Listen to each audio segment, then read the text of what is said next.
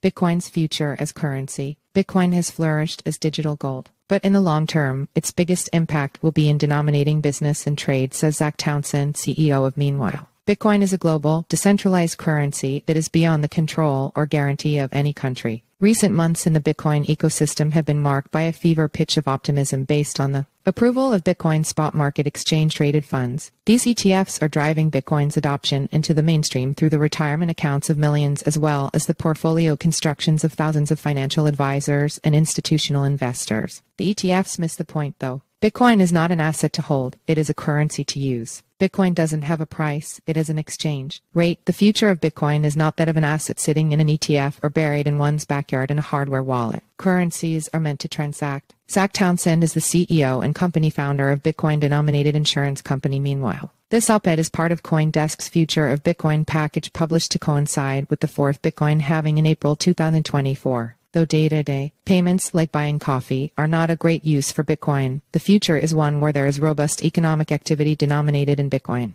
Bitcoin will shine at storing value, settling large payments, conducting financial services, and more. At least 57 countries in the world had inflation rates over 10% last year. The United Kingdom's was more than 9%, and the United States was over 8%. For residents of countries with a history of inflation, regime, or currency risk, the day-to-day volatility of the exchange rate of Bitcoin to fiat may seem a lower danger than the decade-to-decade fiscal and monetary mismanagement of countries all over the world. For this future to exist, though, companies and institutions have to be built within the Bitcoin economy meanwhile has built one of the first a fully fledged, regulated life insurance company denominated in Bitcoin. We conduct all our business in Bitcoin. We are regulated by the Bermuda Monetary Authority, which lets us operate on a modified accounting basis with Bitcoin as the unit of currency. We operate a life insurance company like any other, but instead of being in a currency with depreciating purchasing power, like dollars, euros, yen, Swiss francs, or pound sterling. Our currency is Bitcoin, which is appreciating as a store of value. That means that our company truly operates on the Bitcoin standard. We state our balance sheet and income statement entirely in Bitcoin.